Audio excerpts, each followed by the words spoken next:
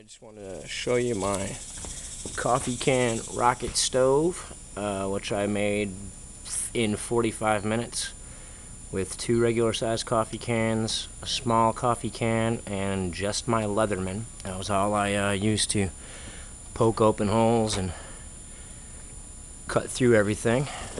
So you got the little can, which is the burner, inside the big can. In between those you have some ash for uh, insulation. I need more, I didn't have enough. You see your feed unit.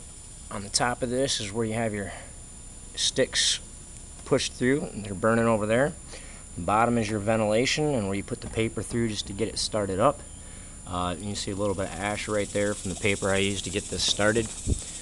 It's wet out. I'm using basically a little bit wet sticks and this thing gets them going right away. As they get burning in there, you just kind of push it through from this side. And feed more into your fire. And that is hot as all get out right there.